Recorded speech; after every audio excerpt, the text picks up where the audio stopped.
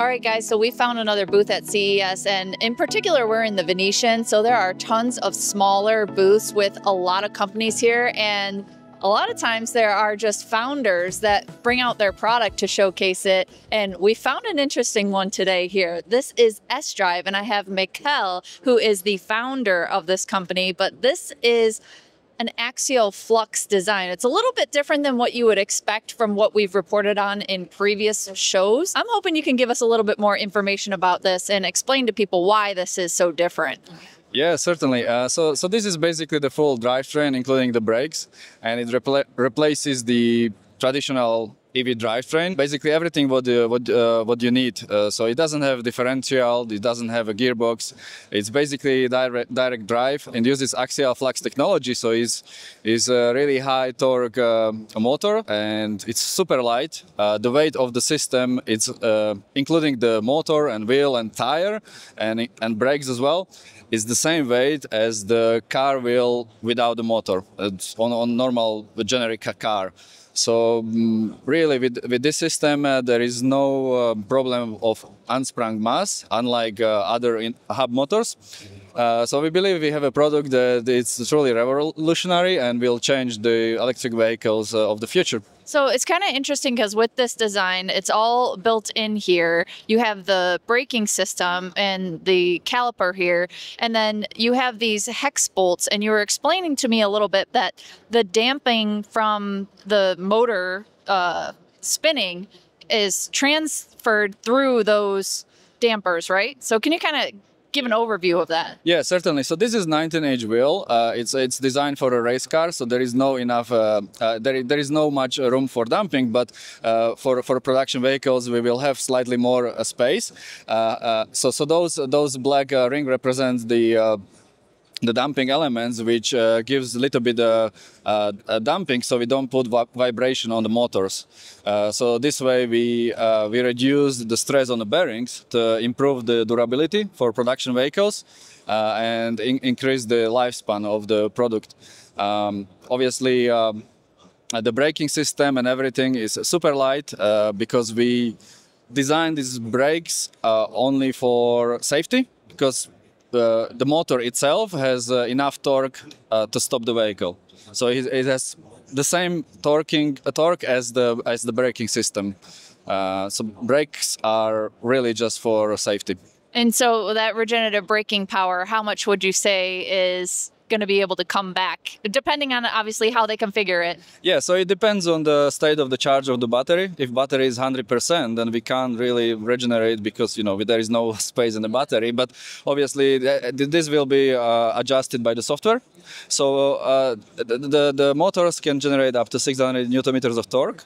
Uh, so pretty much all the energy even from the racetrack can come back to battery if the battery can take the charge yeah. so it depends on the on the electronics and the battery you know how much charge and discharge it can it can uh, absorb so the motors can basically deliver everything. All the energy can come back.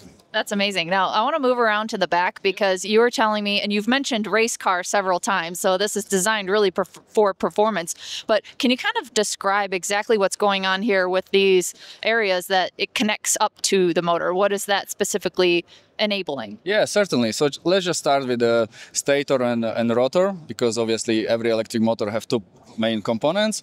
So stator is the uh, the part in the center where all the parts are attached. And rotor is basically this part in here. And as you can see here this gap in here this is a split between the rotor and stator. So all this will rotate. Uh, so th- because this is axial flux technology so the uh, magnets are on the side. Mm-hmm. they are not on the perimeter of the of the motor. So uh, we have direct uh, attachment of the brake caliper directly on the stator. So as you can see there is no upright we eliminated all the components. It's very simple. Uh, this is a mount for the lower wishbone suspension. So there is a ball joint. So this also acts as a steering axis. So uh, lower wishbone comes in here.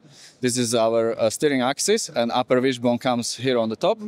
Uh, and then obviously uh, the tie rod for the steering comes on this uh, bracket over here.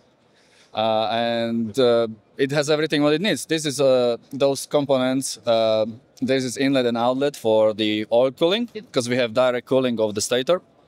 However, for for production vehicle that doesn't require much power, we can remove uh, oil cooling and have only air cooling because there is a, lot of air flowing through the through the motor and if we run it in 20% of the power capacity then we don't need uh, liquid cool because we can we can have a blades on the on the rotor and it will suck enough air uh, to cool the motor without li- requirement for the pump, liquid cooling, and so on. So it simplifies the system even further. However, at this stage uh, of the time, and because you know this is high performance motor, we still require oil cooling or liquid cooling for uh, for this particular model. And this also enables then the ability to uh, integrate like a rear steering system or the adjustability for each wheel independently to move, right?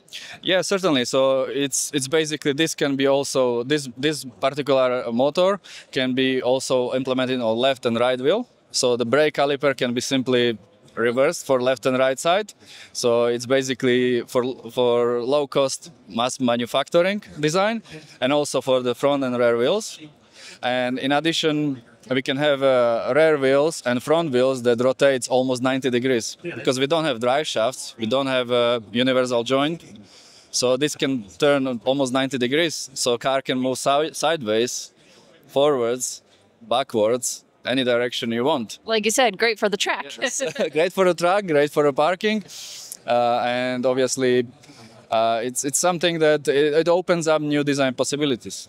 And obviously, since we don't use uh, uh, mechanical differential, then we can add torque vectoring, you know, and with different modes, vehicle, this will change, you know, for the track or for the road, you know, and it, it can, it, it, just opens up a lot of possibilities because every wheel has its own drive uh, and steering. Now, can you give me a little bit more detail on the advantages with the power and efficiency? So this particular model is uh, designed for, for race cars, so it has 200 kilowatt of power, about 600 newton meters of torque, but power can be adjusted according to the use case.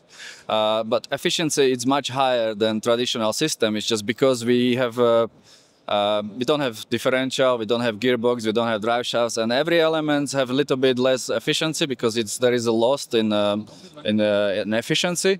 So our system is is more efficient than uh, traditional drivetrains.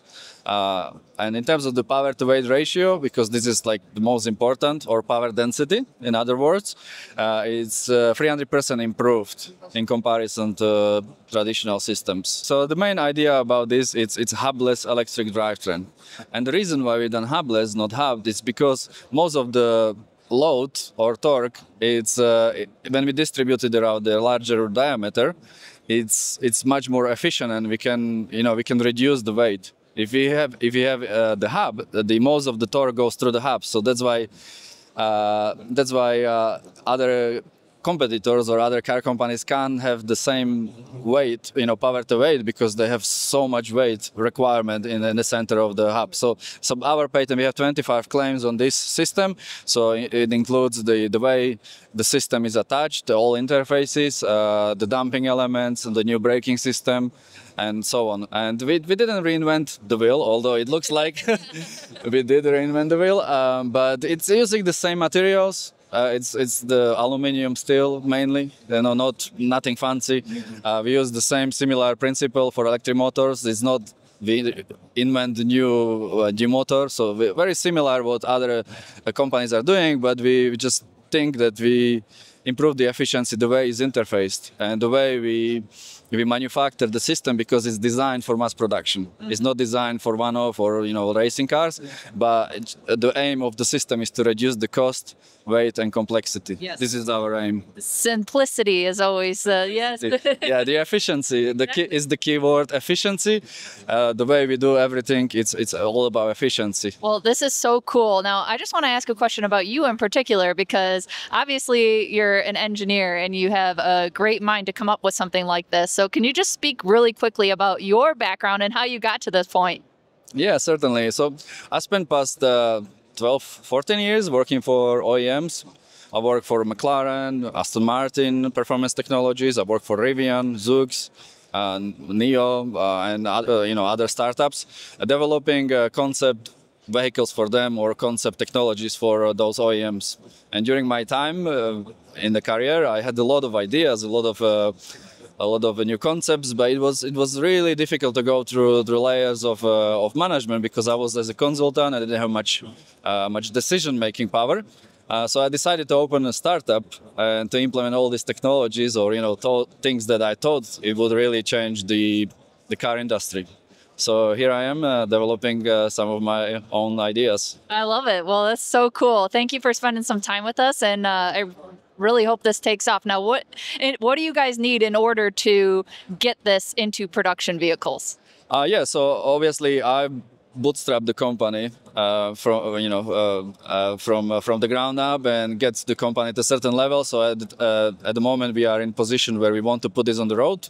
We have a we have a concept, we have a, a prototype that we develop, but now we have to prove that it works. So we need to put it on real vehicles, put it on the road, and put it to the test. So you know there are different testing that we have to uh, perform, uh, such as uh, you know durability testing in different environment, in dust, in different temperature.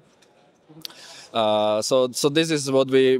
That's why we are here on CES. We hoping to find partners who would be interested to join us on the journey, uh, and investors who will be basically interested to uh, to support us and see this as potential for the future of electric vehicles. Well, I'm excited for you. Thank you again Thank for spending so some time. Yes. Thank you very much for coming over and doing this interview. I really appreciate it. Yes, absolutely. Enjoy the rest of your CES. Thank you so much.